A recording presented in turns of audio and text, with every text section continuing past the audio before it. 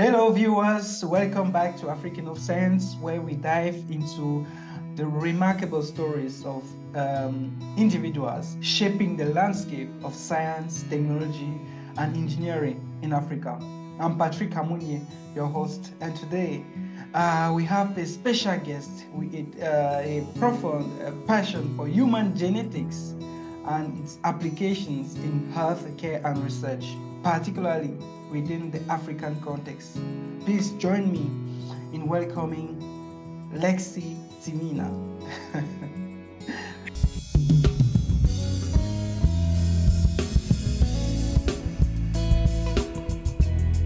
Good day, Lexie Timina. Thank you very much uh, to be with us today. Please, can you present yourself like that for the people who don't know you? Thank you very much, Patrick, for this very nice opportunity. I'm really grateful that you invited me for this. Um, so my name is Lexie Timina, as Patrick has mentioned. I am currently an intern at the South Africa Medical Council, uh, working with the genomics department. And yeah, as Patrick said, I am very passionate and interested in human genetics in a way that can benefit Africans particularly. Wonderful. So yeah, um, yeah, that's that's a very basic background of me. I am from Kenya, uh, originally born and raised there, and then I came to South Africa to do my studies for um, undergraduate and postgraduate. You have had remarkable experiences, including bioinformatics training and your role as a junior research assistant. Can you share more about these experiences and the skills you have acquired along the way? Okay. So uh, bioinformatics is particularly not my field of specialty. However, when I was doing my postgraduate studies, which is um, postgraduate in human genetics, is when I first encountered bioinformatics and I saw how important it can be in the use of human genetic studies. So there I got exposed to it because I was doing a study in vitiligo and we were able to analyze the genetic variants of an individual who was suffering from vitiligo. And yeah, that is just one of the uses that I got exposed to. But as I mentioned, bioinformatics is a really huge tool and it's something I really encourage um, other scientists in the field to know because it really helps, especially with analysis and it will quickly give you the answers you're looking for. So yeah, that has been my experience with bioinformatics. However, now as I work as an intern, I am getting very hands-on um, experience in lab techniques. So some of these include um, nucleic acid extraction. So that is your extractions of your DNA and your RNA. And then quality control analysis, just to check the quality of the nucleic acids. And then we do what we call uh, library preparation as well. So that is preparing your samples to be able to go into sequencing. And very fortunately enough, I have been able to get a chance to also get training in next generation sequencing, which, as you know, we get DNA sequencing, RNA sequencing, which can give us very important information in human genetics research. the passion for precision uh, medicine and gene therapies uh, is a driving force in uh, Lexie's Timina uh, work.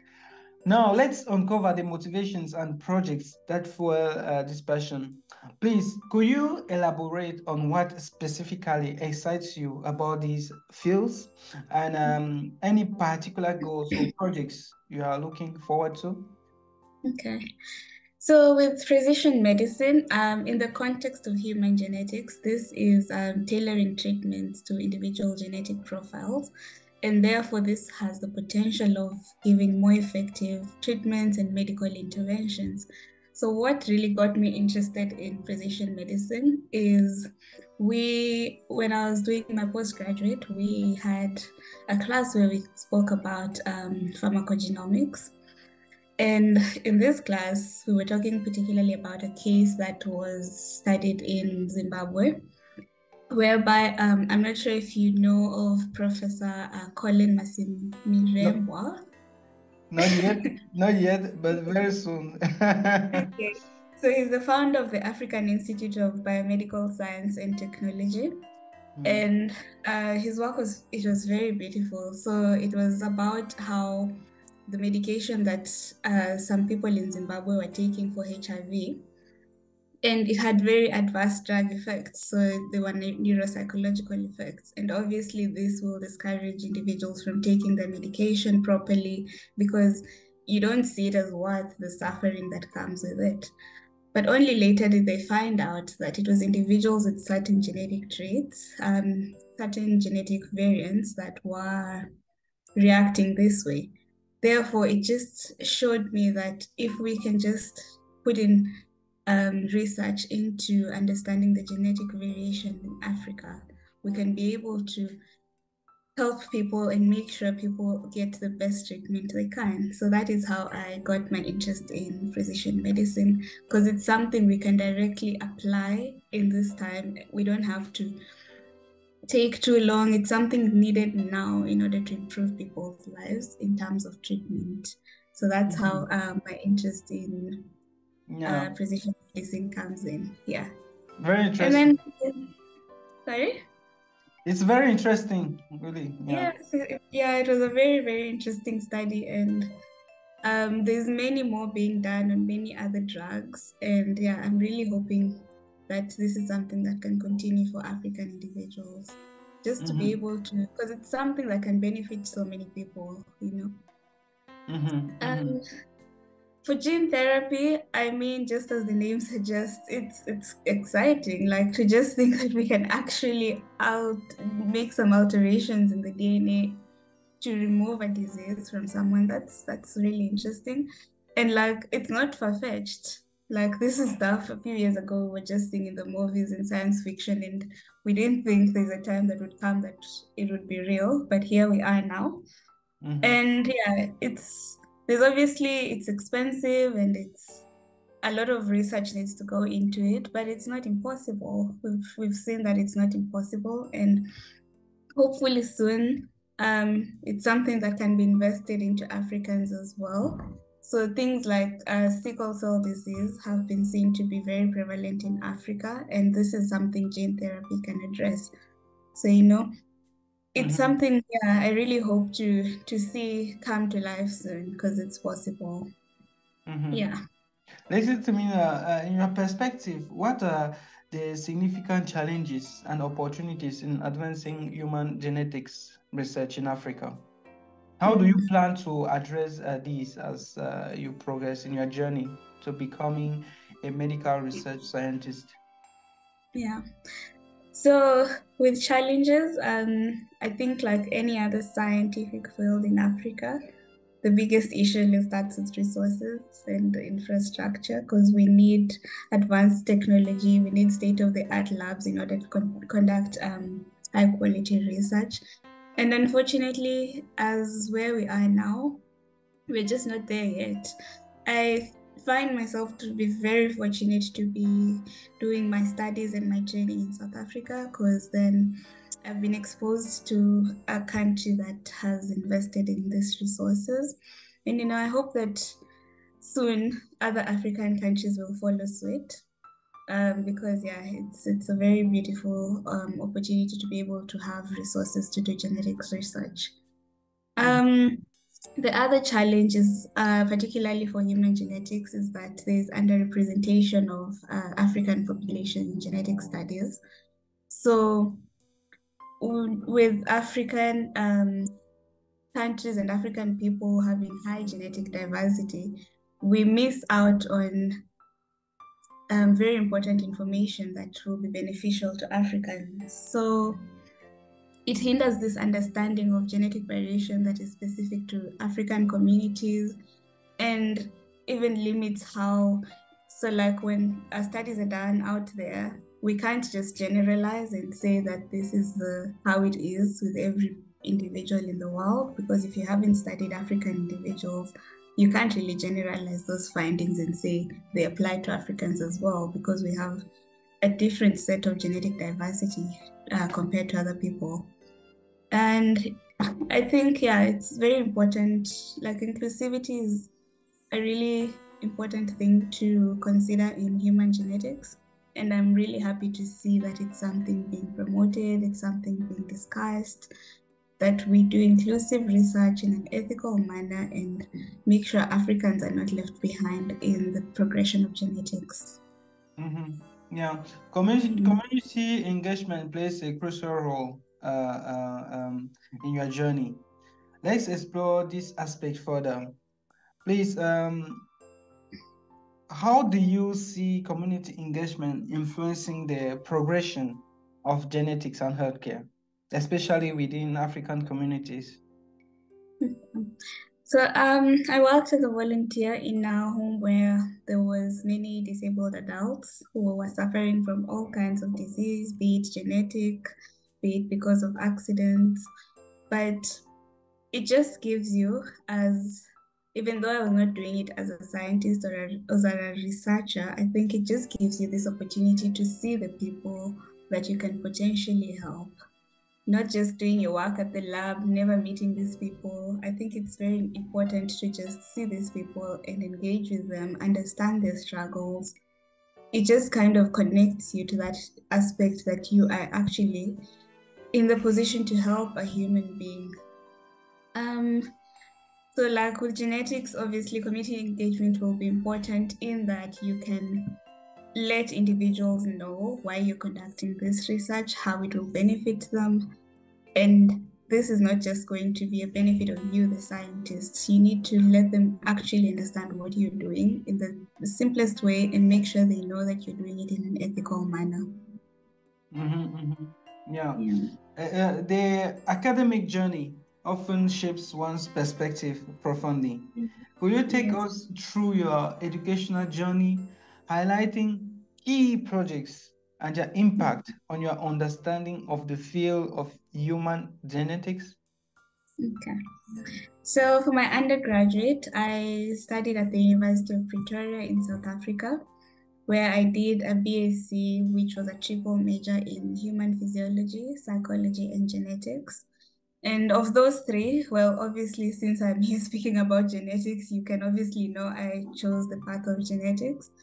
Um, I think throughout the undergraduate, I was a bit unsure which path I'm going to take. I was not exposed much to what is happening in the fields. But when I got to third year and we did a module in genetics and human health, is when I knew this is the path I'm going to follow. I do not want to take any other path when I just see the potential that genetics has in human health. And with that, I carried on to do my postgraduate honors in human genetics at the University of Witwatersrand in Johannesburg. And yeah, that that really opened up me to this whole other world of human genetics that I didn't even know existed. And yeah, it was I had really amazing lecturers um, who were really good researchers as well and they really helped shape um, my interest in human genetics. So, yeah. Mm-hmm. Uh, Lexie, uh, Timina, what are your future plans and aspirations in the field of human genetics? How do you envision uh, contributing to the advancement of research and healthcare in Africa? Um, I am really hoping to, first of all, I, I decided to take a gap year this year, an educational gap year just to get some experience in the work field and learn more about the techniques used in the field. But um, carrying on from next year, I will proceed with my education. I will do a master's degree. And hopefully, if everything goes well after that, I plan to do a PhD.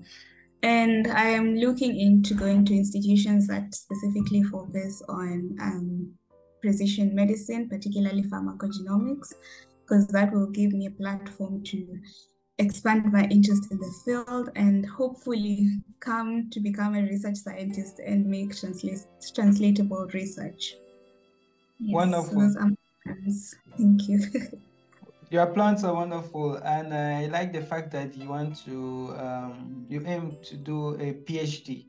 It's very uh, important to have such goals to be always motivated to get up yes, in the morning and go to the university and learn then and then. And um, I'm sure you are going to have that PhD and uh, impact the society in Africa positively with your research and your findings. You. All the best. Thanks for the encouragement. Thank you. And yeah, I also just need to mention um, the work environment I'm in now has been has also played like a very nice role. So I said, as I said, I'm at the South African Medical Research Council, and yeah, because it's like a research institution, you get to see all those different projects, all those different works that are being done in Africa, and it's it's very encouraging. Um, there's a lot of work in TB studies being done in Southern Africa, and you can see there's a lot of people who are doing the best they can to alleviate this pain that TB is causing to Africans. So it's been very encouraging for me to just interact with these individuals, interact with other Africans who have the same goal as me. And through them, I can get so much mentorship, and it's just a grateful opportunity. Mm-hmm, mm-hmm. Wonderful. Thank you very much, uh, Lexie Timina, for your time. Please, uh, do you have uh, a final message um, for, before we conclude this uh, interview? I have a few points. so, yeah, I just feel like things I never knew, I also need to just pass it on so that hopefully, maybe one day, someone who has hopes of becoming a scientist in this field, hopes of studying this field, might come across this video and it will be um, maybe it will be the video that changes how they see things. So I just want to say first that there's lots of online courses for professional development. So even outside your academics, you can always add on to this, particularly on in human genetics and bioinformatics, there's a lot of these uh, courses on platforms like Coursera. So it's just up to you to take it upon yourself to add on to this on top of your school. Um, I think this can really be beneficial for job applications, for example, and just for yourself and, you know, as an upcoming researcher. Um, I think, yeah, also it's important to just seek mentorship from those in the field. Speak to your lecturers because what I've come to realize is people are very happy to help. People are very happy to guide you. No one is trying to see you fail with your work. If you have your idea, just put it out there and let these people guide you. They've been where you are before, starting out, and they will help you. And um, because yeah, there's a lot of research opportunities and more room for African scientists in this particular field of human genetics.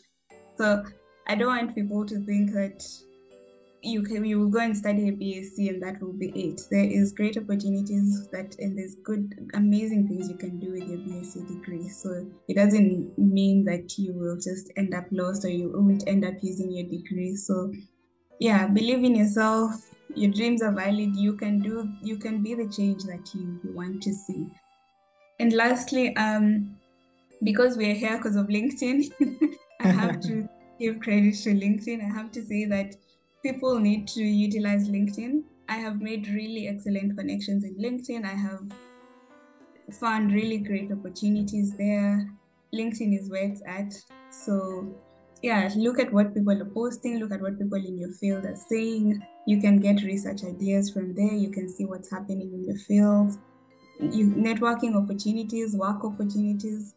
And as our case here, you get interview opportunities and you can get to get exposed. So it's it's very nice. Exactly. Thank you so much.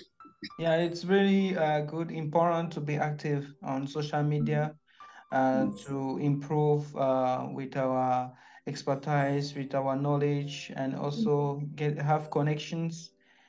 Who knows? These connections are going to help us in the future. Yeah. Exactly.